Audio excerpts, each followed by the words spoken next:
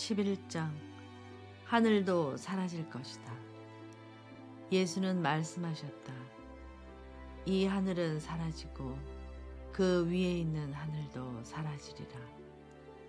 죽은 자들은 살지 못하지만 살아있는 자들은 죽지 않으리라.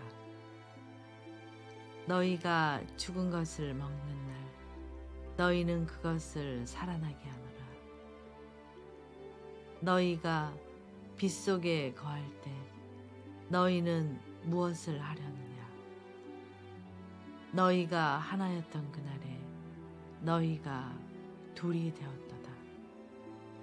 그러나 너희가 둘이 되면 그때 너희는 무엇을 하려느냐?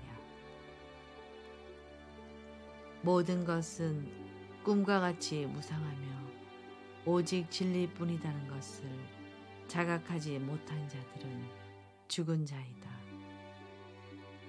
하지만 자각이 일어난 자는 죽은 자 가운데서 살아난 자이며 다시는 죽지 않는다. 깨달음으로 분별하는 죽은 것을 먹는 날, 그것을 하나의 생명으로 살아나게 하는 것은 옛사람이 죽고 새 사람이 사는 것이다. 예수는 우리가 본성 깨달음으로 빗속에 거할 때 무념무상 외에 우리가 하여야 할 일은 무엇이냐고 묻고 있다. 또한 본래의 하나에서 분리되어 둘이 되었음에도 이것을 자각하지 못하고 이원성에 빠져 있으면 어떻게 하겠느냐고 물으신다.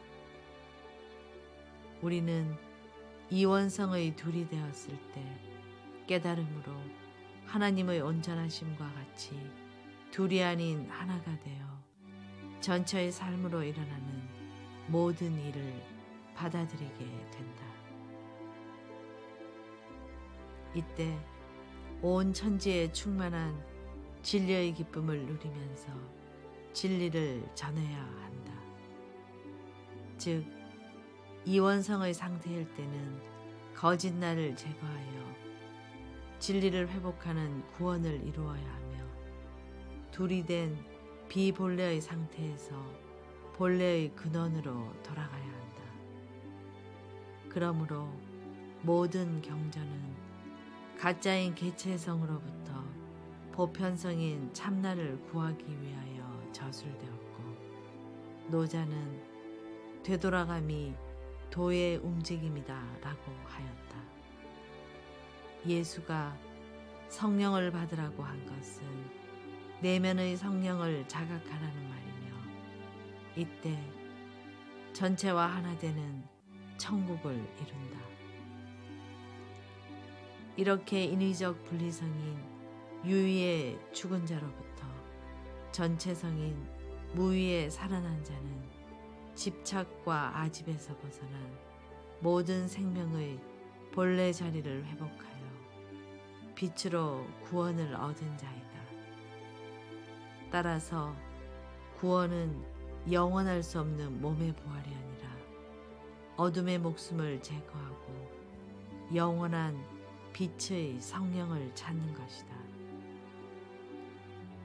우리는 영적 깨달음으로 그림자와 환영과 같은 개체적 거짓말을 제거하고 하나인 본래의 모습을 회복하는 구원을 이루어야 한다.